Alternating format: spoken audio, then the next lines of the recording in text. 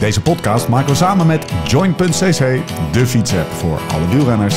Daydreamer, tell me, tell me about your dreams and thoughts. Zin om te fietsen, geen zin om te fietsen, toch gaan, jezelf op die fiets trekken. Regen, hitte, omhoog, omlaag, zweten puffen, slechte poten, wonderbenen, genieten, kapot gaan, lostrappen, bijtanken, douchen en door. Het leven van een renner gaat niet over rozen en al helemaal niet. Als je jezelf wil verbeteren.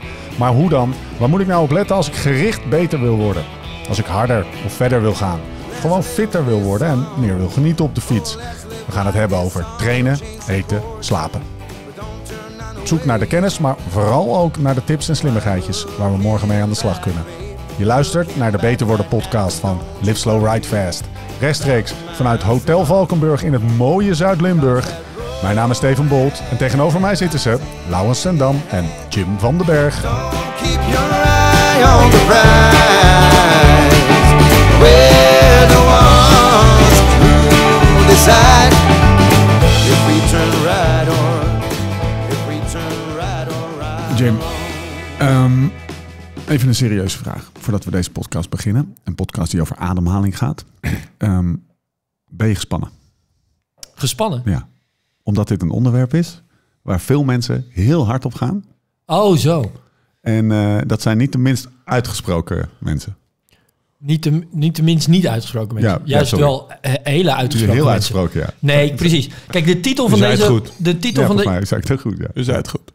Nee, je zei het denk ik niet goed.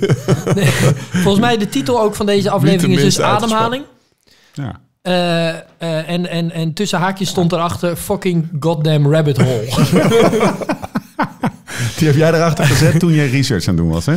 Nou, precies. Er is, en ik denk daarom dat het een goed gedaan? onderwerp is. Het is een heel relevant onderwerp. Het is een super interessant onderwerp, maar het is ook een onderwerp waar heel veel onzin of ehm, ja, een soort van claims over bestaan. Ja.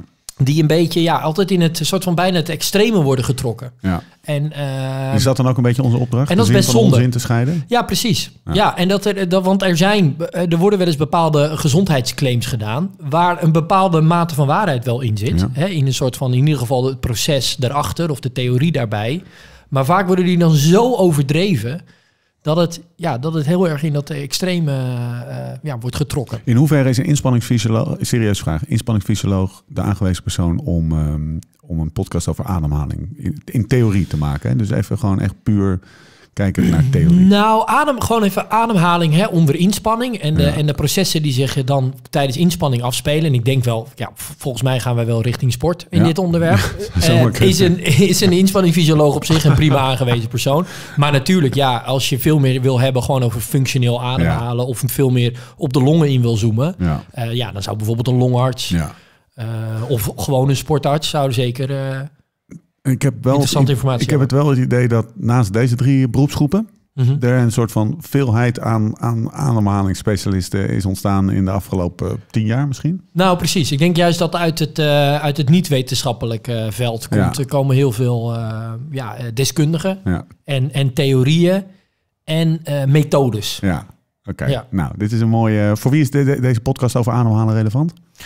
Ehm, en waarom is het belangrijk? Even twee in eh. nou, dus wel omdat er wel bepaalde... Hè, het is heel goed om een soort van... Als je snapt wat de processen zijn die een soort van ademhalingsfrequentie bepalen, bijvoorbeeld... Ja. Ehm, en dus weet ook wat de invloed is van ademhaling op de sportprestatie. Ja. Dan kan je daar ook zelfs actief tijdens de inspanning wel wat mee. En er zijn ook eh, wetenschappelijke onderzoeken genoeg voor... die daar ook wel wat positieve ja, claims ondersteunen. Ja.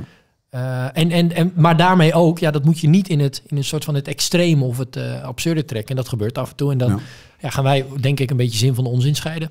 Lau, Ja. van alle knoppen waar je aan kan draaien om beter te worden. eh, en de knoppen die je, waar je aan gedraaid hebt, voeding, Mhm. trainen, dan noem het alles maar op, kleding, gewoon al, alle, al die elementen.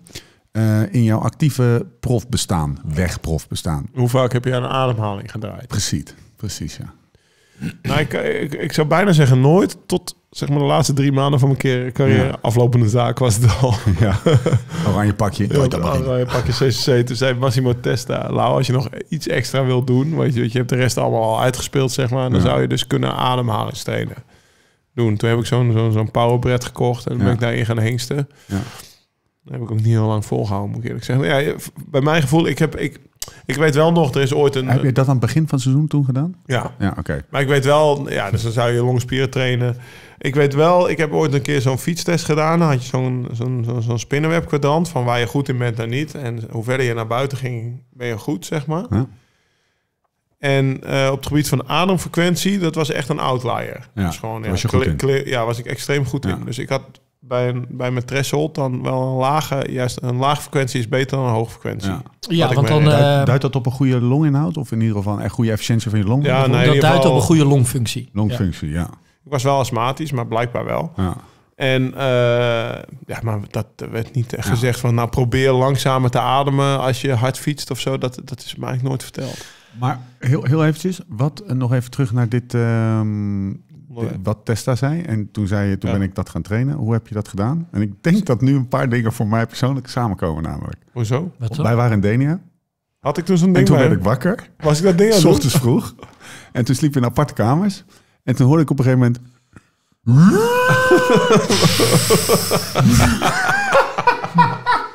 en ik dacht, wat de fuck? Toen kennen we elkaar nog niet Toen dacht je, Was Pakkaas! Hij zit hier. Hij zit zijn bloed te centrifugeren, dacht ik. ik dacht, wat? Ik ga nu even niet binnenlopen. Dacht ik, Oh, was hij- Laat hem maar even. Laat, Laat hem maar even. Een privé momentje. Ja. Ja, waarschijnlijk was ik dus toen aan het powerberetten. Maar Was dat zo'n... Je had een apparaatje dan? ja, je hebt een apparaatje en dan moet je dus... eh, ja, dan moet je zeg maar door een weerstand heen blazen. Ja. Z- hè, of- Ja. En, en inhaleren, zodat je De spier eigenlijk traint. ja, je longspieren traint. Ehm, ik merkte niet heel veel eh, vooruitgang. Of, of, of, maar ja, wat ik al zeg, was de laatste vijf, zes precies. maanden van mijn carrière. En ja, was, op een gegeven moment was het niet veel meer. Meest gemaakte fout van de wielrenner. Hier moeten we het wel nog over hebben. Ja. Over dit. En eh, wat is hier? Wat bedoel je mee? over Welk over respiratory muscle training. Ja, oké. Ademhalingsspieren Dat training. was wat RMT. doen. Dus. Ja, precies. Komen we op terug. Oké. Maar we- het protocol eh, schrijft ons voor dat we het eerst hebben over Ik de meest volg, gemaakte eh, fout van de Stefan. wielrenner. Van de amateurwielrenner. Of misschien wel de, de wielrenner in het algemeen. Ehm, ja. Ehm, oh, dat Denken dat je niet kan opgeschreven. trainen, had je Ja.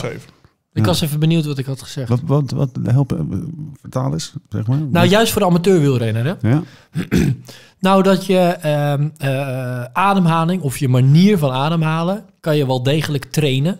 En kan je dus beter in worden.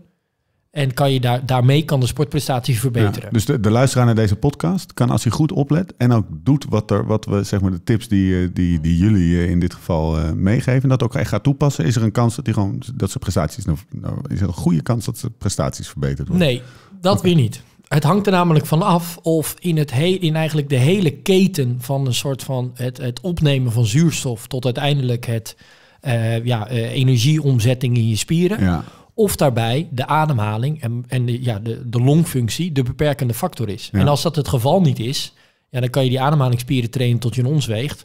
Maar dan is de kans dat dat ook de sportprestatie verbetert natuurlijk heel klein. dus ademhaling is een element in een keten Precies. en in die, die eh, ja, dat- ja oké. En wanneer, dat, en wanneer er bijvoorbeeld redenen zijn om te denken van ja, wacht even, misschien dat we juist op, op dat stuk, bijvoorbeeld omdat je ooit bij een sportarts een wat verminderde longfunctietest hebt afgelegd. Wat is een long, wat is longfunctie? Ja, dus hoeveel zuurstof en eh, eh, eigenlijk gewoon de stofuitwisseling van je longen. Is dat hetzelfde als grote long hebben? Eh, ja, in principe wel. Ja, Ja? in het volume. Ja. Oké. Ja. En hoe, hoe meet je dat? Eventjes eh, bij die sport, die Ja, dat testen kan je die ik dus- heb gedaan, moet je zo'n zo'n ding zo hard mogelijk uit. Precies. Ja. Dus zo ver Ja. mogelijk en zo hard mogelijk uitblazen. En ook weer zo diep mogelijk inademen. Dat, dat, dat hard mogelijk, daar was ik niet zo goed in. Oh, ik ben echt heel slecht. Want ik heb dus Ja. een beetje astma. Oh, ja. Mijn longpijp is iets vernauwd. Oké. Maar mijn longen, ja, super groot. Grootste ooit. uh, groot ooit. Ja, serieus. Maar hij heeft ook een beetje astma. Ik heb een keertje Ja. in de Hasselt die Ja. longmachine stuk geblazen. Maar groot, dat, dat kreeg je niet gemeten. Toen, zei die, toen zei die dokter, nee serieus, dit Hoe zijn de ver woorden moeten van we meegaan? Dit is gewoon waar. Die dokter zei, je hebt, je je hebt in ieder geval de longen van een kampioen. Ja, precies. Zei hij. Hij Heb zat, ik in jou de, wel eens verteld, hij zat er in de wachtkamer met Miguel Indurain hij en, zei Jan Ulrich. En als Armstrong. eerst. Armstrong. Armstrong kon niet meer. Want die machine was stuk. Sorry, Dat is 10 plus. Sorry, maar wat- Lens, ik heb een stuk geblazen. Wat zei hij daarvoor dan? Dus hij zei, nou, de- dus de- de- het laatste deel van de zin was, je hebt in ieder geval de longen van een kampioen. Ja, wat, ja. wat zei hij daarvoor dan Hij, zei, allemaal? nou, nou, hij, hij, hij kwam erachteraan als ik Je jou nooit wat winnen. Als ik jou, als ik jou Je kan er nog, helemaal niks van. als ik jou nog een beetje prepareer, dan word je echt een kampioen. Ja, dat dat ja. dacht hij natuurlijk. Ja. Maar ja. Ah, je hebt in ieder geval de longen. Mooi. 2006 was dat. Serieus? Zullen we de diepte in, voor zover we dat nog niet al gedaan hebben? Het meest rudimentaire deel van de hersenen, de ademhaling, wordt geregeld door Ja. het ademhalingscentrum. Ja, is- dus- ik lees het gewoon even voor je. Het is misschien ook wel eens leuk voor de, voor de Ja, dat is helemaal super. Dit is een netwerk van zenuwcellen in het onderste deel van de hersenen, de zogeheten hersenstam. Het ademhalingscentrum regelt zowel de start van de in- en uitademingsfase als de overgang van inademing naar uitademing. Ja. Pretty clear. Nou, en waarom ik dat er juist heb ingezet in het meest rudimentaire deel, dat betekent dus dat het eigenlijk eh, een soort van het evolutionair gezien eigenlijk het oudste stuk is van de hersenen. Hè? Ja. De neocortex, dat is Ja. dat deel hersenen wat hier zit. Nou, dat regelt alles ook eh, rondom het bewustzijn. Ehm, dat is een veel later geëvolutioneerd deel. Juist de hersenstam is, is een heel is een van eh, ja, eigenlijk het oudste stuk hersenen. En die regelen dus dit soort hele basale processen. Met andere woorden, het idee dat je zou moeten nadenken over ademhaling is dan best gek Ja. als het door zo'n ja, rudimentair stuk hersenen wordt geregeld. Dus je gaat ineens iets heel erg, zeg maar, iets bewust doen, wat echt het allerverste staat, Ja. het allerlaagst op de ladder van bewustzijn. Wat juist het autonome zenuwstelsel, hè, dat is, je hebt dus eh, twee eh typen zenuwstelsels. Dat eh, vrijwillige zenuwstelsel waarmee je gewoon kan, ja, je, je, je, je arm kan bewegen, hè, dat stuur je bewust aan. Maar het autonome zenuwstelsel, dat regelt eigenlijk alle processen, zoals bijvoorbeeld de hartfrequentie. Hoe, hoe snel je hart moet kloppen, daar kan jij niks over Nee. vinden of zeggen.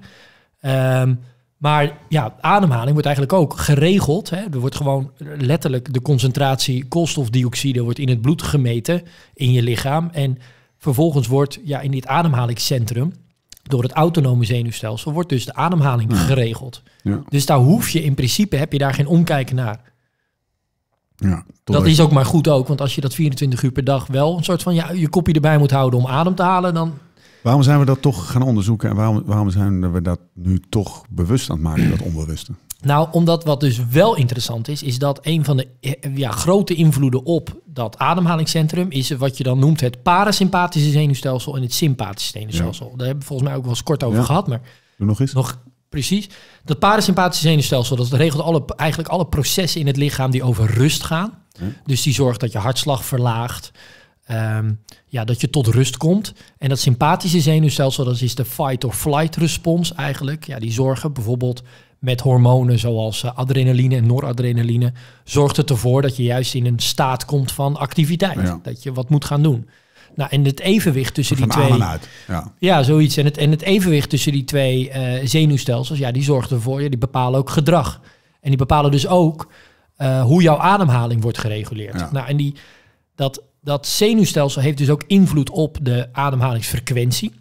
En hoe eh, sneller je gaat ademhalen, hoe oppervlakkiger je ademhaling wordt. En het probleem daarvan is, als je heel oppervlakkig ademhaalt en dus eigenlijk die buikademhaling en het middenrif niet gebruikt, dan ehm, ja, heb je eigenlijk kans dat, die, dat de zuurstof die je eigenlijk wil opnemen, dat die niet komt in de delen van je lichaam waar je die eigenlijk wil hebben. Dus dat parasympathische zenuwstelsel zorgt er juist voor, en dat is wat Laurens net heel goed beschreef, dat hij juist op zijn omslagpunt nog een hele lage frequentie had. Ja, dat betekent dus dat hij nog steeds heel diep ademhaalt. En dat hij daarmee dus ja, eigenlijk heel goed al zijn spieren op dat benut. mo- ja, zijn capaciteit benut en, En eigenlijk al zijn spieren, spieren nog goed benutten. van zuurstof Ja. kan voorzien. Ja. En juist het omgekeerde ontstaat wanneer je een beetje in paniek raakt bijvoorbeeld. Hè, en in zo'n fight-or-flight respons komt. Ehm, ja, dan, dan eh, dat is bijvoorbeeld ook wanneer je als je koud gaat douchen. Ja. Nou, dan heb je misschien, precies, dan wordt die ademhaling heel oppervlakkig. En dat is ook wat uiteindelijk dan kan resulteren bijvoorbeeld in hyperventileren. Ja. En iemand die dat wel eens heeft meegemaakt, ja, dan ga je dus wel heel snel ademhalen, maar toch Komt er niet lijkt het geen, binnen. precies, het Ja. heeft geen effect. Ehm, Dus, dus het is de kunst, het, het, het, ehm, eigenlijk je, je, je, je longen en je ademhalingssysteem ten volle te benutten, ook als het even moeilijk gaat. Precies. En om dan dus die rust te bewaren en juist die, Ja. die, die grote en eh, ehm, eh, diepe ademhaling eh, Hoe- te, hoeveel te- hoe- hoeveel te kan dit schelen? Hoe- Hoeveel, hoeveel, hoeveel...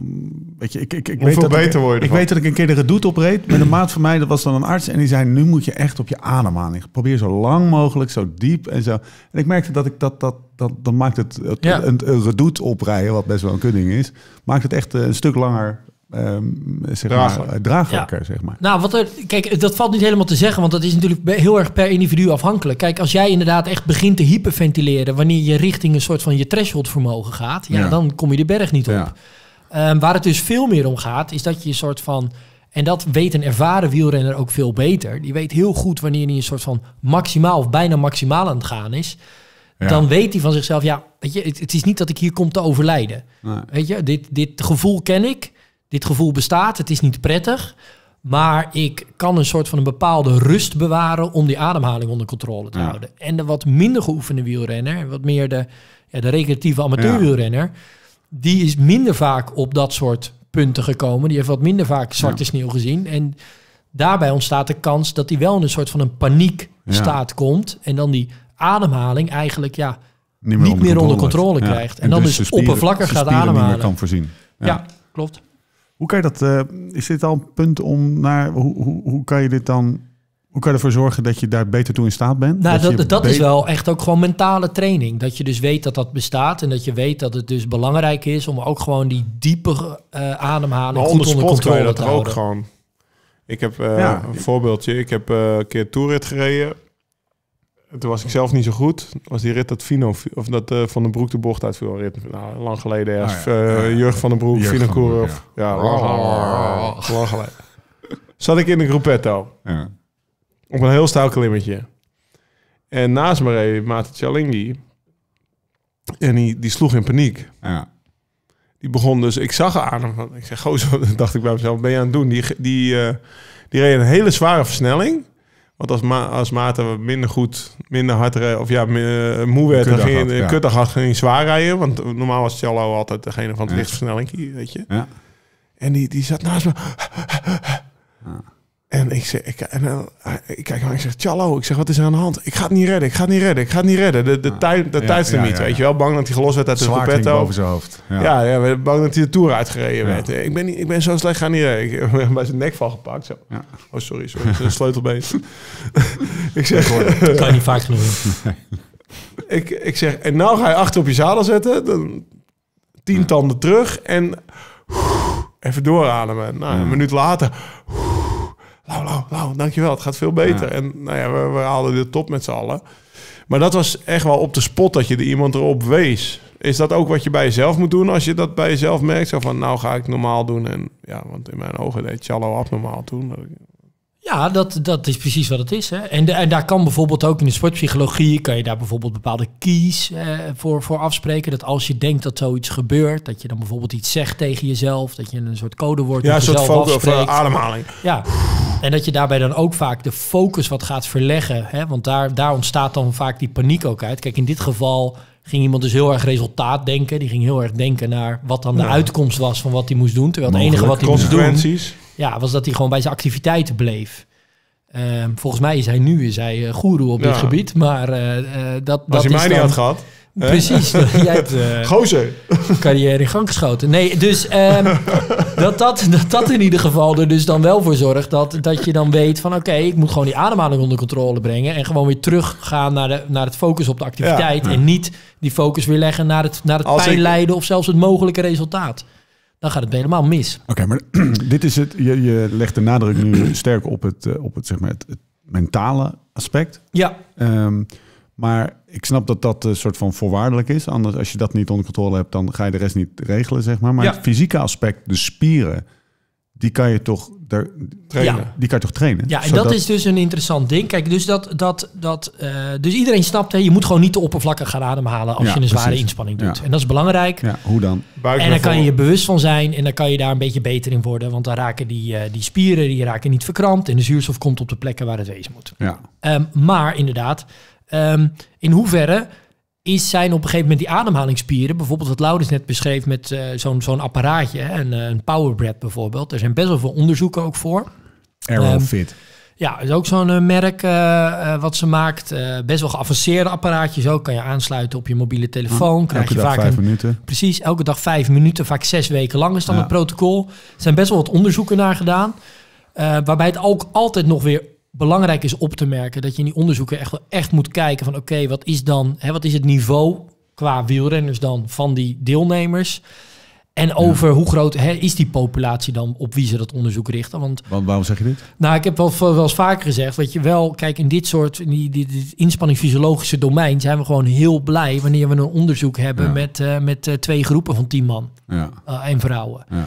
Eh, van dan een bepaald niveau en het liefst ook bijvoorbeeld een wat hoger niveau. Tenminste, in het geval van Laurens moet hij wel of niet een powerbread gebruiken. Moet je wel dan daar naar kijken. Je Ja. moet niet gaan kijken, ja, werkt die powerbread bij een recreatieve populatie en dan dat te gaan extrapoleren naar profielrenners. Ja.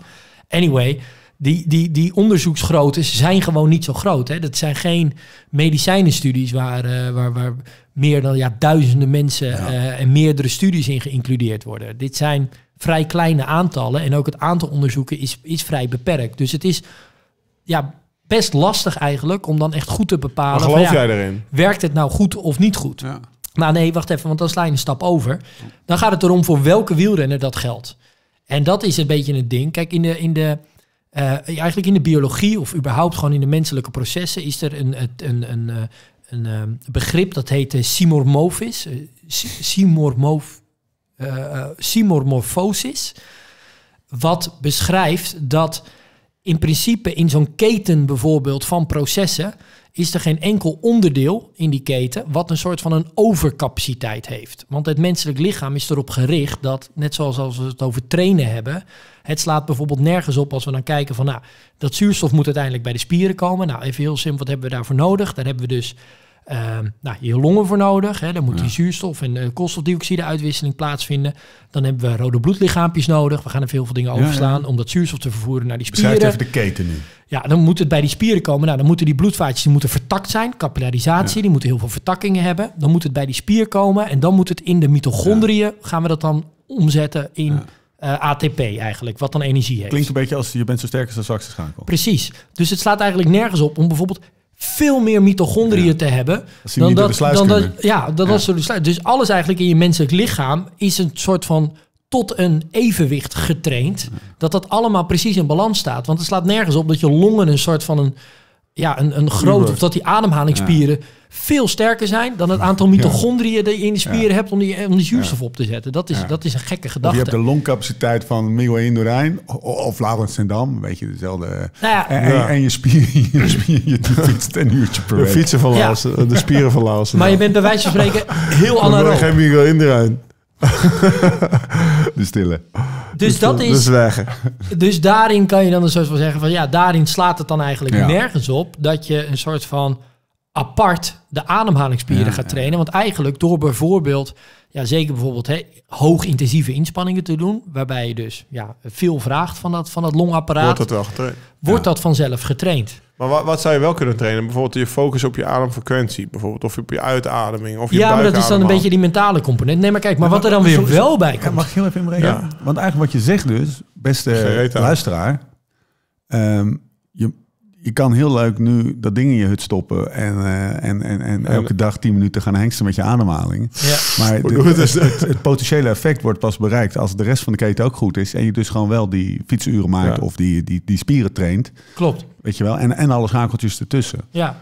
Dus onder welke voorwaarden zou het wel Nou, kunnen werken? Wanneer je bijvoorbeeld dus bij een sportarts wel is geconstateerd, omdat je bijvoorbeeld last hebt van inspanningsastma Ja. of gewone astma of Dat andere reden aan de te... schakel is waar je aan moet draaien. Exact, Ja. dat het de schakel is waardoor er een verminderde longfunctie is. Ja, dan zou je wel eens kunnen overwegen. Misschien moet, heeft het dus zin om apart die ademhalingsspieren nog wat extra te trainen.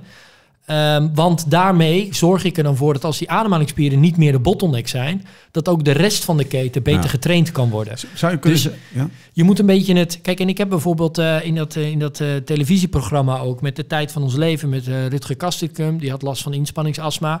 Nou, en dan hadden we ook nog eens een beperkte voorbereidingstijd. Nou, daarbij heb ik er juist wel voor gekozen om met zo'n apparaat te gaan trainen. Want Ik kan hem niet zoveel hoogintensief werk doen dat dat een soort van op Ja, de natuurlijke weg ja. precies eh, eh, snel genoeg Hij getraind moest wordt. even een been bijtrekken. Precies, hij moest als het ware een been bijtrekken, waardoor ik hem wel echt zes weken lang met zo'n powerbed op, op pad heb gestuurd. Ah, ja. En daarin zie je dus ook wel, dus het, er is eigenlijk in de wetenschap ja, weinig evidentie dat het echt eigenlijk voor alle wielrenners werkt, zoiets. Het apart trainen van je ademhalingsspieren.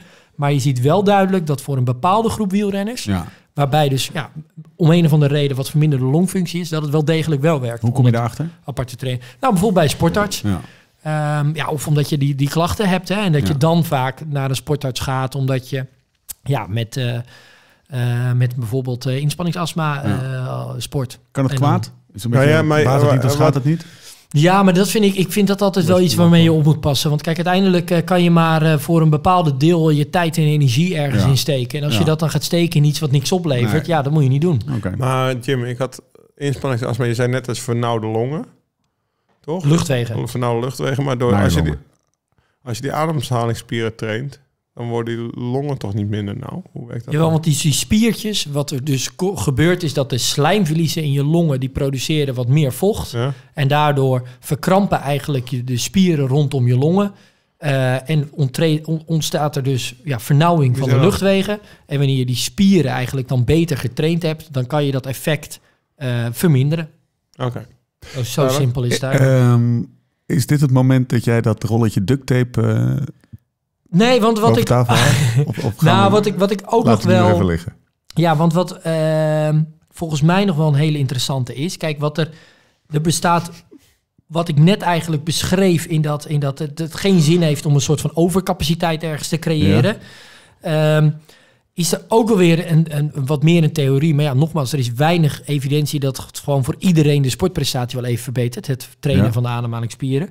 Is het wel ehm, ehm, eh, ook een theorie dat door die ademhalingsspieren te trainen, kan je er, zou je ervoor moeten zorgen dat ze wat minder uitgeput raken. Dus wanneer je hele lange tijd op een hele hoge intensiteit zou willen sporten, Ja. dan zou je misschien door het trainen van je ademhalingsspieren ervoor kunnen zorgen dat ze minder vermoeid raken. ja, dus de efficiëntie minder afnemen. En efficiënter Ja, werken eigenlijk. En dus ook een energetisch daarmee. aerobe functie van je longen trainen, Precies. zeg maar. Ja. Maar een soort van dat, dat, dat energetische argument, ja, als je puur even kijkt op dat je dus op zo'n hoge intensiteit aan het sporten is, is de energetische component van die ademhalingsspieren wel klein. Eh, hè, de hoeveelheid energie die dat dan kost. ja. Dus Het is niet zo kritisch. vind ik niet maar, sterkste. je bovenbeen gebruikt meer energie. Ja, en, en dus dat je, kijk, en wat is uiteindelijk de echt beperkende factor als je heel lang op hoge intensiteit sport? Ja, is uiteindelijk ook gewoon heel simpel je koolhydraatvoorraad. Ja. En eh, hè, wat, wat, wat kom je dan eerder tegen? Die Ja. of dat die, dat die spieren te vermoeid raken? Ja, nogmaals, door gewoon te trainen op die intensiteiten waar, waar je ook ja, het in je wedstrijd of in je doel moet gaan doen. Daar train je het uiteindelijk het best mee, want dan train je die hele keten. Eh, maar wanneer je dus inderdaad ziet van ja, weet je, dit zou beter kunnen werken, dan kan het zin hebben om dat apart te trainen. Ten Dam. Ja, ik heb nog nooit gedacht, zo, ik heb een tijdje moeie longen. Nee. Nee, toch? Nee, Nee. nee, dat is nee, precies of- wat jij beschrijft, toch? Zo- Ja, maar dat zou natuurlijk wel een proces kunnen zijn dat het steeds een beetje minder wordt. Ja, zo, ik heb En- spierpijn in mijn... Nee, wat dacht je dan van... eh, ja, mijn ik had hem kunnen winnen, maar het lag, Oh, lag aan mijn longen. Lachen we, nee, heb ik nog nooit gedaan. Nee. Dus eh, nee, ik denk dat Jim gelijk heeft. Gewoon. Ja. Het wordt automatisch wel getraind. Maar waar ik naar op zoek ben, is dus, dus inderdaad het geval met Ch- Ma- Mata Chalingi. Mhm. Als dat gebeurt, of dat, eh, of dat wel bewustzijn met die ademhalingsfrequentie verlagen. Dus niet per se die spieren sterker maken, maar gewoon wat, wat ik begrijp is dus een lage ademfrequentie is oké. Minder aanspraak maken op die spieren ook. Die, Ja. die Nee, nee, nee, juist, juist meer. Oké, Juist meer. Die diepere ademhaling gebruik je ademhalingsspieren veel meer. oké. Ja. Dus ja, wat ik altijd heb geleerd, de middenrif gaat een beetje naar beneden, die buik gaat naar voren. Ja, Als de je- als je- buikademhaling. Ja, maar dus dat, minder- dat is wel, ja, dat gaat bij mij wel vrij automatisch, denk ik. Maar, Kunnen profs het allemaal goed? Even ademhalen? Nou, in principe, dat is in de interessante. Je bent natuurlijk, je hebt een bepaalde weg afgelegd voordat je prof wordt. Ja. En dan heb je dat inderdaad, als het goed is, in die hele keten, dus de hele tijd getraind. ja. En dan is er dus ja, geen reden dat, dat een soort van de spiervermoeidheid van de ademhalingsspieren de prestatie beperkt. Ja, maar anders geformuleerd, kan je prof worden met een, eh, met een van Nee. nature eh, nee, slechte met een waardeloze ademhaling. Nee. Nee. dat gaat niet lukken. Nee. Dus, maar voor, ja, kijk... Dus je kan de- het al en je traint het ook nog eens heel goed. Ja, en Vandaar dus... dat die buiken van die gasten altijd zo in de weer zie gaan. En daarom denk ik ook voor wat meer juist de recreatieve wielrenner, hè, om, da om dat een soort van te trainen. Ja, nee, maar dat, dat, dat, daar zou je, hè, wanneer daar redenen voor zijn, zou je dat wat, eh, Ja. wat, wat kunnen optrainen, wat extra kunnen optrainen. Oké, neusademhaling. Ja, dat is een hele belangrijke. In... We gaan eh, langzaam de rabbit hole in, hè? Ja, want de neusademhaling, dat, dat, dat, ja, dat, dan, dan ga je wel... Nou, omdat neusademhaling in principe er wel voor zorgt dat de lucht die in de longen komt, dan via de neus een langere weg hebben afgelegd, waarmee de lucht meteen al wat Ja. eh, vochtiger en wat warmer gemaakt wordt. Daarnaast kan het eh, wat ziektekiemen zelfs en, en, en vuile deeltjes buiten houden. Je hebt als het ware, hè, je neus heeft een soort van een filterfunctie die je met je longen niet hebt. Ehm, ja, en dan zorgt het een soort van voor een betere zuurstof-koolstofdioxidebalans. Ja. Is het een, even ook heel concreet, is het een, eh, ik rijd er het doet op en ik weet, ik ga ergens gewoon eh, janken en pijn Ga je hebben. ga je niet moet, door ik je neus dan, moet ik dan zo lang mogelijk door mijn neus, want op een gegeven moment zit je toch gewoon die, die Nou, hut van je open te ja. gooien. Dan kan je toch niet meer door je neus, man. Ik, ik, Nou, in, ik kan in principe kan je, kan je eigenlijk m- meer volume door je neus, adem, eh, neus eh, eh, naar binnen laten dan je misschien denkt. Want uiteindelijk heeft die luchtpijp ook maar een bepaalde Ja. grootte. Je kan je mond wel heel groot opengooien, maar dat betekent Ja. nog niet Het die, dat het... Ja, precies. Ja, dus je kan eigenlijk door je lucht, door je neus, sorry, meer ademhalen of beter ademhalen dan je denkt. Alleen, ja, ik weet niet hoe het bij jullie zit, maar bij mij zit drie maanden per, per, per jaar ongeveer mijn neus verstopt. Van ja, maar ja, maar jij moet ook Dan meer wordt het vitamine- even Je moet ook meer vitamine D en Misschien dat dat het is. fruit eten. Nee, maar Nee, serieuze dus- vraag. Ik heb nog nooit gedacht, nu ga ik even door mijn neus ademen op de fiets. Nou, wat het Dus dus is dat wel een advies wat je zegt? Ja. Nou, ga jij eens even met 200 watt door je neus ademen. met 200 watt denk ik dat je nog heel goed door je neus, dat jij ook nog wel heel goed door je neus. Want jij zei vandaag nog tegen me, dan zit mijn neus een beetje dicht. En dan ben ik een beetje, dan lijkt het net alsof ik het koud heb. Dat hoor ik wel vaak als mensen naar Ja, hij maakt een gek geluid. Ja. ja.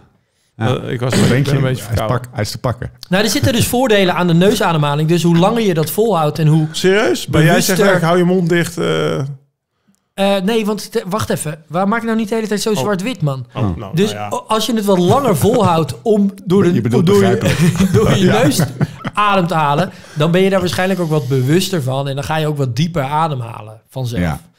En daar, daar kan het wel voor zorgen. Plus natuurlijk die voordelen die ik nu noem, dat je die lucht wat vochtiger en wat Ja. warmer maakt. Ehm, kan ook weer, zeker bijvoorbeeld bij inspanningsastma, hè, dan is het vaak ook juist die hele droge, koude lucht die een extra effect oproepen bij die inspanningsastma van eh, Laurens. dus zou hij juist eh, wat langer dan eh, die neusademhaling bezigen, dan, eh, ik ben jullie kwijt hè? Nee, ik zit gewoon, ik zit gewoon met mijn hoofd. Ik zit nou steeds naar het moment van die doet. Dat die gast zegt, ik ga dan echt niet. Jij zegt eigenlijk, probeer er bewust mee om te gaan. En dat, neus, dat neusademhaling zo lang mogelijk. Ja, het helpt gewoon wel als je, nou, als je af en toe even bewust van bent. Ja. Van, ah ja, wacht even. Ah, ga ik wel als, je al, als je Sarah Beth Yoga checkt, of eh, hoe heet die, was dat die van jou of van mij? Arielle. Ah, eh, Ja, bij mij is Sarah Bed. ja, Sarah Beth zegt ook gewoon altijd inhale in the nose, through the nose Ja. en slowly exhale. Dat is het enige waar ik niet naar luister. nee, ja, ik kan gewoon heel moeilijk door mijn neus Ja. ademen. Ja, ik heb dat ook. Ik, heb, ik, ik ben er heel slecht in. Maar anekdote, Ja. Luis Leon Sanchez. Ja. Oh, het plakkertje. Nee, nee, Gewoon nee. maar karaten. Nee, wij reden dan in de winter eh, daar door Spanje heen. En Ja. nou, ik weet nog zo goed, dan reden we daar een afdaling af. En het was best wel koude, droge lucht. En ik reed naast hem. Ik denk, nou ja, bergop had ik niet kunnen praten. Anders had- Ja. eh, adem ik door mijn mond heel veel. Maar toen- ik, Tom Ik nog wil even- het, eh, ja, hem dus- ik zeg Luis Leon. Ik, ik weet niet waar ik het over heb. maar Ik, ik, begon een gesprek. Ja. Zat hij naast me.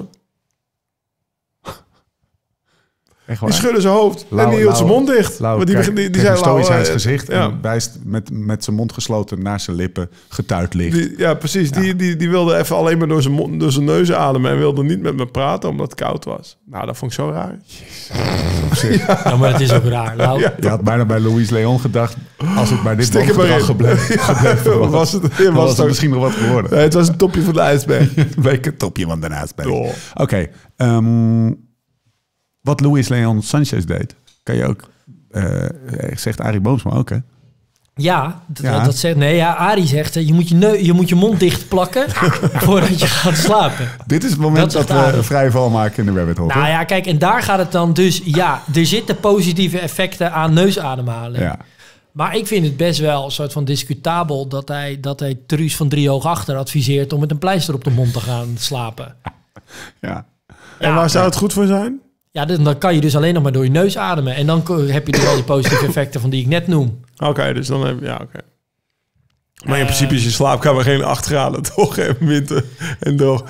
Nee, maar dus Nee, ook die maar filterfunctie van de neus Ja. en dan warmere en vochtigere lucht. En daarmee misschien ook wat dieper ademhalen. Nou, dat, daar zou het dan allemaal voor moeten zorgen. Kijk, en dan, Ja. dat, ja, dat, is een beetje... Nou, dat is eigenlijk ook waarom ik net zeg, maak het nou allemaal niet zo zwart-wit. Want dat gebeurt er dus de hele tijd in dit soort dingen. Er zijn Ja. hele positieve effecten aan, nou ja, aan gewoon het advies wat jij kreeg van die arts toen je bergop reed. Ja. Eh, Dat je, Keesbroertjes. Nou, ja. Pro- Probeer die ademhaling onder controle te brengen. En dat heb je gedaan. En toen kwam je erachter, oh wacht, het gaat Ja. eigenlijk wel. Ja. Het gaat eigenlijk heel Of je goed. stelt op zijn Terwijl minst, je je maakt langzaam- gebruik van wat je kan, Ja, zeg maar. terwijl jij eigenlijk la- eigenlijk langzaam aan naar een soort van paniekfase aan, Ja. het, aan het werken was. Waarin die, op, waarin die ademhaling veel te oppervlakkig werd. Dat eerste stuk. Maar ik snap wel even niet. Want hij zei tegen jou, zolang mogelijk door je neus ademen. Nee, hij zei Nee. tegen mij, probeer zo, zo rustig mogelijk, zo diep mogelijk Ja, in oké, nee, nee, bewust. dan snap ik hem wel. Want door je neus dan ga je niet sneller van naar boven. Dan Ja. word je Maar alleen minder snel ziek van. Dit is? 20 jaar geleden of zo. Hè? Dus dit Ja, is echt, een, nou ja. was ik nu niet bewust dat ik op de fiets, zeg maar. Maar wat er dan vaak gebeurt is dat het een soort van... Ja, het wordt zo in, die, in, die, in een hoek getrokken... Ja. Dat, dat, dat het een, zo, een, goed advies zou moeten zijn... dat iedereen met een, met een pleister op de mond zou moeten, moeten slapen. En dan kom je ook vaak weer in dat spectrum van... ja, baat het niet, dan schaadt het niet. En daar ben ik het niet mee eens. Want er is echt nul een soort van wetenschappelijke evidentie... dat het, dat het een goed idee is om met je pleister op je mond te slapen. Is er gewoon niet. En tegelijkertijd hoor, daar heb ik ook nog wel even naar gekeken. Er is ook niet, ehm, eh, ik, ik ben niet op studies eh, ge- gestuurd die, eh, die zeggen dat het gevaarlijk is om met een pleister op de mond te slapen. Ehm, dus dat wil ik ook nog wel, voor, voor Arie wil ik het op die manier opnemen. Weet je, het gezond verstand vertelt wel van, nou, weet niet of het per se een goed idee Je is. hebt hem gekregen, die mond. Ja. Maar ehm, ja, dat. En met een pleister op je neus koersen. Want Ja, ja, de neus- is daar heel tegen. Ja. Ja, de neuspleister. De neus, hij vindt het altijd zo belachelijk als hij dat ziet. Dat ziet er echt Ja. Nee, het- nou ja, niet per se daarom, maar hij zegt het niet, nu, geen nut. Ja, de- Noem eens even wat renners die dat eh, hadden. Ja, Ja, dat is tegenwoordig, tegenwoordig niet zoveel Ja, meer. wel, zeker nog Ja? Ehm, Ik weet bijvoorbeeld... op- Rico had hem altijd. De, ja, de faculteit bewegingswetschappen was soort van zei dus 15 jaar niet geleden. Waren een soort van al die alle bachelorstudies. Hè, dan moest je een soort van een, een simpel snel onderzoekje doen. En wat iedereen eigenlijk deed is, nou, ik zet gewoon 10 mannen op een inspanningstest. En dan doe ik ze met en zonder neuspleister. Ja. En dan kijken wat de effecten zijn. En dan kwam eigenlijk altijd hetzelfde uit, geen effect. nee.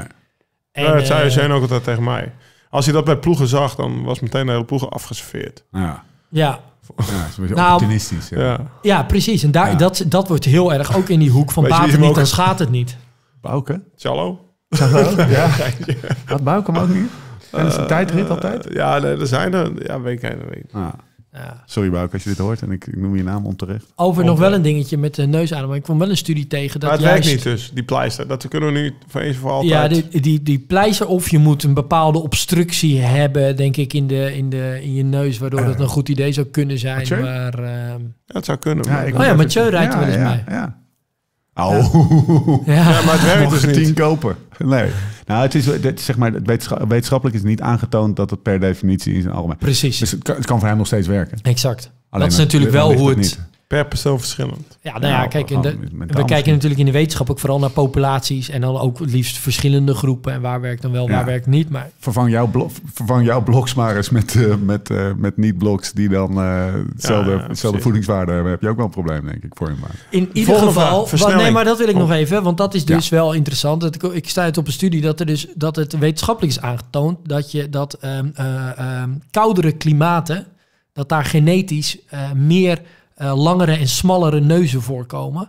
Oftewel dat je dus ja, de Scandinavische neus eigenlijk als het ware, die heeft dus een langere Ja, eh, luchtweg. Dus die lucht die kan beter eigenlijk warm, Warm en een beetje vochtig worden. Ja. Dan in Ehm, de Amazone.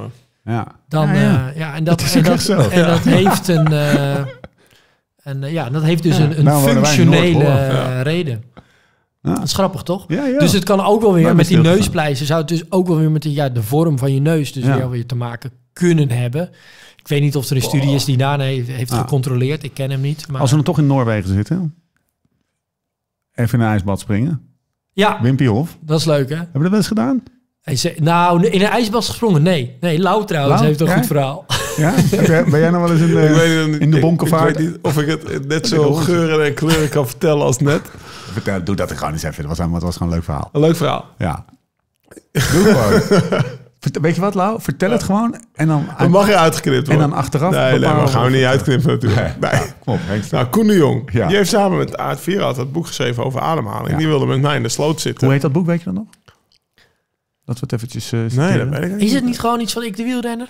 Is dat, Nee, is dat, dat, is het eerste boek. Nee, ze, ze dat hebben twee boeken trainingsboek. samengeschreven. Oh, Oké, wie is het tweede Dat- boek? dan? we zoeken zoek het de op. stagiair zoek het even op. Ja. Het verhaal.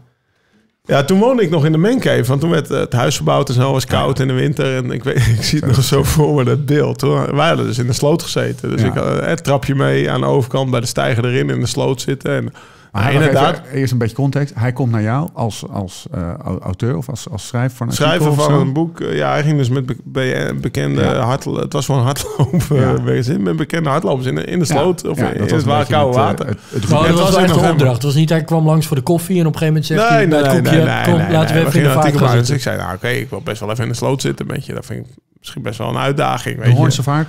Jullie voor. Ja, bij mij ons voor. Ja. Ja. Zwembroekje aan. Nou, en dan merk je dus inderdaad, dan ga je erin. En dan in, in, in het begin... Dan, Een soort paniekreactie. Die, diezelfde als die Maarten bijvoorbeeld op Ja. dat bergje had in Frankrijk.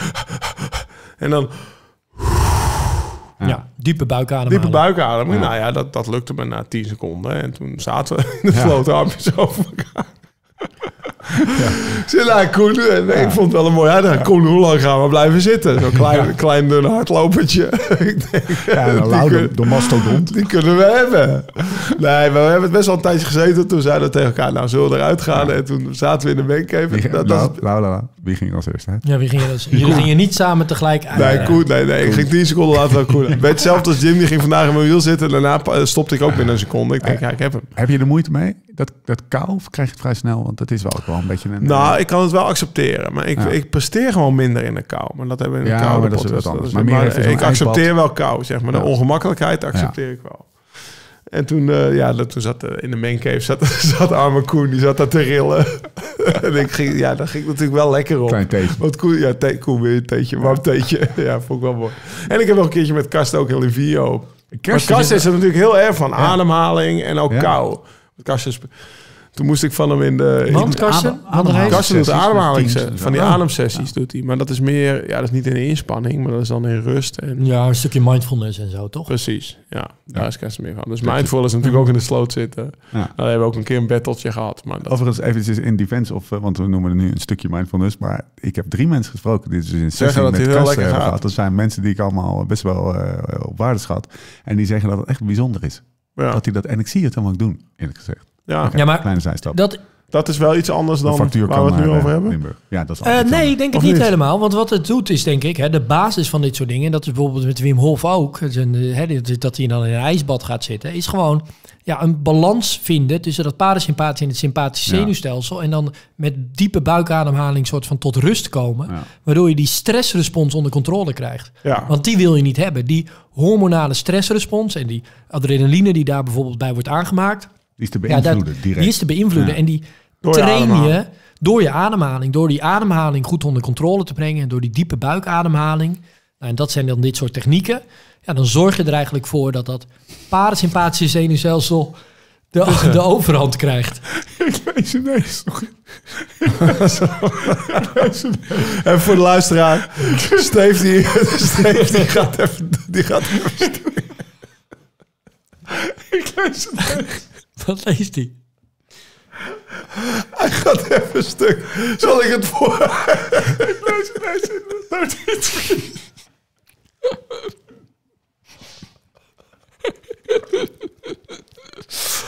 Nou, Steve, wat is je?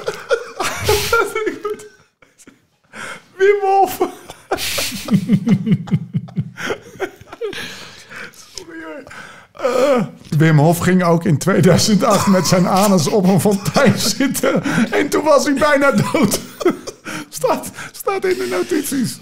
Nou Wim ja, Hof ging ook in 2008 met zijn anus op een fontein zitten. En was toen bijna dood. www.hetvondelpark.nl slash vondelnieuws slash de stunt van de Iceman. Jim, verklaar je nader. Dit Ja. is de bodem van de rabbit hole. Ja, dit is wel de absolute bodem. Dit was, Heeft dit met ademhaling te maken of is het gewoon een leuke Wim Hof anekdote? ja, dit is gewoon een goede anekdote. Doe, die, doe die uit. Het, het, het opbrengen heeft zijn nut nu al bewezen. Goed dat we die battle die je aanging. Ja, kijk, soms worden die te- technieken wel eens een beetje in het, in, het, in het extreme getrokken. En ja, ik denk het is gewoon goed om mensen niet te adviseren om een soort van een outdoor klisma te ondergaan in het Vondelpark. Ik Wat wil was er dan? Wat was er? Nou, Wim Hof, die was eh, in het Vondelpark, daar woont hij vlakbij. Ik, heb, ik vond dit, hè. Dit Ja. is gewoon op internet vrij Ja, toegankelijk. het wereldwijde. Dus alle claims willen we bij deze van de ja, hand precies. doen. Dit is gewoon. Maar hij, ja, hij was er volgens mij op iemand aan het wachten. En hij ging wel regelmatig om een soort van de kou in zijn hele lichaam te voelen. Ging hij dan met zijn kont op een fontein zitten. Alleen die fontein, die was voor onderhoud. Nou, het is eigenlijk heel erg, maar hij heeft overleefd. Dus we kunnen er nu denk ik om lachen. Ging hij, met zijn, eh, ging die op die fontein zitten. Alleen net in die week hadden ze die fontein vervangen. En hadden ze de druk verhoogd van die fontein. Dus dat wist hij niet. Dus toen ging hij op die fontein zitten, midden in de winter. En toen had hij een darmperforatie opgelopen. En in principe zijn er niet veel mensen in de winter in het Vondelpark. Dus toen werd hij net op tijd gevonden en het ziekenhuis gebracht. En toen was hij bijna dood. Wat een verhaal, joh. Hoe kom je hier nou weer ineens op? Even Wim Hof Nou ja, ik, wil even, ik wilde meer nog weten over Ja. Wim Hof. En toen kwam ik daarop. Ja. En mag we er ook uitklimmen uit die rabbit hole, zeg maar. Ik ga Ja, een ja, we Ja, gaan laten we Ik wil naar even, nee, ik wil even... Ja, ik- Maar kijk, ik, ik, trek nog- het nu ook een beetje in het Ja, absurde. en ja, dat nee. bedoel ik ook weer niet. Want kijk, ik, ik, ik wilde dus ook net zeggen... dat wat ook een, eh, een eh, Karsten doet. Ja, daar zit echt Ja. eh, bewezen... ehm, en dat is bijvoorbeeld een, een, een studie geweest in eh, Radboud MC. Die hebben ehm, de immuunrespons eigenlijk onderzocht... van die Ja. technieken die Wim Hof toepast bij, eh, bij eh, ja, die ijsbadmethode... En dan zie je dus wel dat het eigenlijk het eh, immuunsysteem een, een positief effect geeft op dat immuunsysteem. Dat Ja. is dus ook best logisch, want bijvoorbeeld dat sympathische zenuwstelsel, dat fight-flight respons, zorgt er voor juist voor de aanmaak van Ja. hormonen als adrenaline. Nou, en dat soort hormonen zorgen er juist voor dat het immuunsysteem eigenlijk wordt gedrukt. Ja. Dus dit een soort van, ja, die stressrespons via dat soort technieken beter onder controle krijgen. Dat dus dat sympathische zenuwstelsel, dat je daar eigenlijk niet de hele tijd in blijft hangen. Dat kan er dus wel voor zorgen dat je dus ja, je immuunsysteem eigenlijk ja, verbetert. Ja, dus het is, dit heeft niet een, je gaat er niet harder de redoute op rij, door op rijden of de Alp of nee, maar misschien word je wel de minder snel ziek. Precies, dat, Ja. is, dat, is, dat is vooral het, eh, dat is het. Is dat ook even in een, in een eh, echt in een notendop het effect van, van ijsbaden, zeg maar, dat je eigenlijk gewoon gezonder wordt, of is het echt specifiek op ademhaling? Ik weet er echt niks vanaf. Kijk, namelijk. ik denk eerlijk gezegd dat het, het is een beetje bijvoorbeeld, om toch een vergelijking te maken, zit het effect nou bijvoorbeeld in hoogtestage echt op die fysiologische respons op dat, op dat hoogte-effect? Of zit het er Ja. juist ook in dat je gewoon goed aan het trainen Ja. bent en geen andere afleidingen Ja. hebt? Ja. Ik denk ook heel erg bij dit soort dingen. Is het, zit het er nou echt in dat je die ademhaling beter onder controle krijgt? Of zit het er ook in een stuk bewustwording Ja. om op een goede en gezonde manier met je lijf bezig te zijn? Want als je, angst overwinnen, Precies, pijn een plek weten te geven. maar ook, kijk, ik kan me heel goed voorstellen dat als je nou, als je nou deelneemt aan dit soort eh, te- technieken en als je daarmee bezig bent en aan de, aan de gang bent, ja, volgens mij rij je dan op de terugweg niet langs de snackbar en, Nee, en trek je een krat alfa bier uit de schuur, toch? Dan ben je wat, dan ben je wat bewuster Ja, met je, met je ja. Gezondheid en met lijf en leden ja. bezig. En ik denk wel dat, dat dat wel een, een bepaalde confounder is die heel erg sterk meeweegt in, in ook dit soort Ja. technieken en processen. Ja. En daar moet je wel ook niet helemaal aan voorbij gaan. Nee. En dat betekent dus ook niet dat het dus verkeerd is. Ja. Maar ik denk wel dat we bewust moeten zijn dat dat soort ja, processen wel een rol spelen. mooi dat je dit nog eventjes eh, in de context plaatst en dat, het niet, dat ze niet blijven hangen op dat ene plakje. Vierkante centimeter in het Vondelpark. Mag Nou, ik je versnelling? Jo. Ja. Ik heb het gevoel dat als ik zeg maar met 60 omwentelingen per minuut eh, Ja. een berg oprij, Ja, ja. Ja. dat ik dan gewoon dieper kan uitademen. Of ja, er meer gefocust mee bezig rijden. Ga je me daar met 120 om la- laten rijden met 200 watt vermogen, bijvoorbeeld. Mhm. Geen vermogen, dat, dat ik dan echt boven kom. Ja, klopt. Ja, hoge Dus, eh, frequentie, meer controle over je... Of een Ja. lage frequentie, Ja, meer daarom. controle Dus, over eh, je want als je, als je er bewust van bent, dan zou je daar ook mee kunnen spelen. Ja. Nee, want het is eigenlijk een beetje andersom. Want een lage frequentie is energetisch veel voordeliger. Kost Ja. gewoon minder energie en daarmee ook minder zuurstof. Oké, dus dat... Dat hebben we bij trapfrequentie ook een beetje besproken. Dat eigenlijk een soort van de ideale trapfrequentie 60, 70. is inderdaad heel laag. 60, 70 omwentelingen. Het probleem daarvan alleen is dat de spierbelasting dan ook heel hoog is. Dus moet je dat dan lang volhouden of meerdere klimmetjes per dag opfietsen. Dan loop je wel tegen een probleem. aan, Want die spieren worden dan Ja, vermoeider. precies. Ja, onevenredig veel als je meerdere Precies, maar energetisch gezien is Ja. het gewoon efficiënter En dus om op een laag en, en daarmee dus ook een mindere zuurstofvraag om dat op een lage trapfrequentie te doen.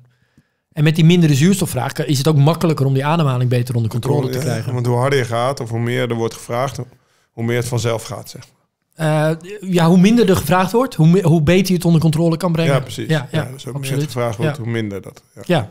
Want kijk, uiteindelijk is het wel zo. Hè, als de inspanning toeneemt, gaat de ademhalingsfrequentie omhoog. Dat is een, dat is een soort onomkeerbaar proces. Ja. Dat moet, dat, alleen Ja. soms kan die, die, de mate waarin die ademhalingsfrequentie omhoog gaat, die loopt soms een beetje wat voor op de inspanning. En dan zou je het eigenlijk terug moeten brengen, wat eigenlijk wel Ja. Wat Ja, gewenst goed is, ja. wat gewenst is is. het, ja. Dat Ja. is eigenlijk de. Je krijgt eigenlijk een soort van... eh, ja, precies zoals jij zegt. Ja, in, in een soort voor. van een, een ja, paniek eh, in, een, in een dus overdrive van het sympathische zenuwstelsel. Ja, het moet gewoon in balans zijn. En, en niet uit balans. Precies. Eh, en als het uit balans is, kan je het door je kop ook vooral... Mits het Kan je eventjes getraind, door kan met je het je- terugbrengen. Door met je hoofd in te grijpen, Ja. als het ware, kan je het Ja. onder controle brengen. En Ja. als je, maar dat zijn wel dingen van ja, als je dat hebt getraind of daar wat bewuster van bent of dat wat vaker hebt toegepast, dan kan je dat ook. En dat is denk ik ook wat de Karsten Kroon doet. Dat mensen ook dan op een werkdag, wanneer er bijvoorbeeld een stressvolle situatie ontstaat, dat ze dan ook dat soort technieken toepassen, zodat ze eventjes tot Ja. rust komen en niet die stress de overhand Ja. laten voeren. En dat is, en dat weten we ook, ja, de, de negatieve gezondheidseffecten aan eigenlijk te veel stress ervaren, ja, die zijn enorm. Dus als je dat op bepaalde momenten in je leven terug kan brengen door dit soort technieken, ja, dat, dat werkt. Oké. Lau, ga je wat anders doen? Eerste vraag van de langzame afsluiting. Nou, die neusademhaling. Zou ik, vond ik wel interessant om dat toch wat... Om dat wat meer te proberen. Ja. Ja. Dus, ja, dus het antwoord is dat, dat, dat. Ja, ik ga niet eh, denken... Ja, precies dat. Ja, ik heb tot nu toe nog heel weinig over nagedacht hoor. Ademhaling op de fiets. Ja, is dat ook, want dat, dat wou ik eigenlijk als mijn eh, ding wat ik anders ga doen. Het gewoon een bewuster mee bezig zijn. Als je even een uurtje gaat zwiften, dan ook even het opbrengen om dat uurtje even bewust met je ademhaling om te gaan. ja, ik denk een heel uur is vrij eh, pittig Ja? om dat te doen. Of tijdens je blokjes. maar af en toe precies, wel, wel eventjes eh, aan, aan denken is helemaal Ja. geen... of, of in ieder geval een soort bewust worden van, ja, wat doe ik eigenlijk? Wat Ja. doe ik automatisch? Ja, Dat is hartstikke goed. oké. Thanks. Ademhaling, enjoy. Eigenlijk een beetje... ja, ik zit nog klinkt teleurgesteld. Ik zit, nog helemaal op die, in die vijver, jongens. Kappen nou. Ehm, ehm, ademhaling, zit dat in de, laten we zeggen, de beschrijving van de training die je in joint krijgt? Even Nee, nee, nee, nee, dat, gaat, dat zou te ver voeren. Nou, bijvoorbeeld let op je ademhaling in de blokjes. ja, oké, dat daar overal dat gaan zeggen, dat lijkt me ook wat overdreven. Er zijn trouwens wel Nee, ook heel een veel... Jim. nee, maar kijk, dat je boos werd? Nou ja, als in je kan niet, je kan de, eh, de hoeveelheid informatie kan je natuurlijk niet overladen op zo'n plek. Hè, je kan daar niet te veel. Ja, we kunnen ook, Ja, we kunnen ook gaan vertellen hoe hard eh, de autobanden moeten van je, Ja. eh, van je Volkswagen. Ja. Maar ja, dat is ook dat is, Ja. dat is niet helemaal de plek daarvoor. Ehm, ik Waarvoor? denk meer. Nou ja, ja, Vind ik niet echt, nee, maar ik bedoel, wat vind ik voor. niet echt match hoor, Jim. Ik ook niet. Jim, zijn- neem even een haribootje, Ja, dan ben je ja. een stukje minder chagrijnig. Hij, is- hij is ingeslagen. Ja, Er zijn wel apps dip. trouwens. Er zijn ook wel apps, eh, naast dus ook mensen die dit soort technieken trainen, zijn er ook apps die je daarin eh, Ja. met, met bepaalde technieken kan trainen. Sterker nog, er zit een functie in eh, je Apple ook die eh, Ja. in zo'n 30 seconden je Ja. ademhaling onder Je controle Apple Watch brengt. ook Ja, en die, die, je Apple Watch, ja. En dan krijg je die eh, blauwe, eh, je blauwe bol. trillingen bij het inademen en dan langzaam Precies. uitademen. Om gewoon even tot rust te komen. En die, Ik vind dat je wel altijd Apple lekker. Watch adviseert het dan een paar keer per dag te doen. Dat vind ik ook is, een dat beetje... is dit. Wat vind je lekker? Je hebt niet eens een i- iWatch, toch? Eh, nee, maar... ehm, eh, Lau, Ja, sorry, ik ga even een beetje specifiek maar... Ik vind het fijn om Ga je nou eventjes liegen? eh, eh, 1, 2, 3, 4 minuten even op stoel te gaan zitten en te gaan zitten ademhalen. Want dat heeft ook weer impact op eh, je hartritme variabiliteit.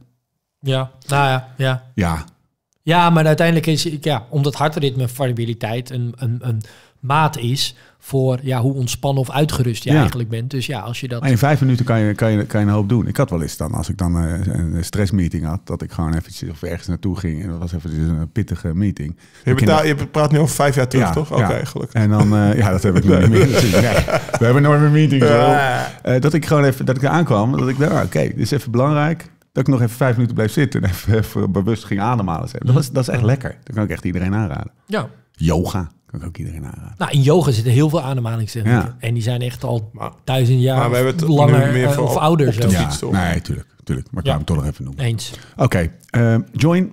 Ja, nog steeds een half jaar voor de prijs van vier maanden. Ja. Code in de notes. Eén de show notes. pakken. En kak erbij pakken.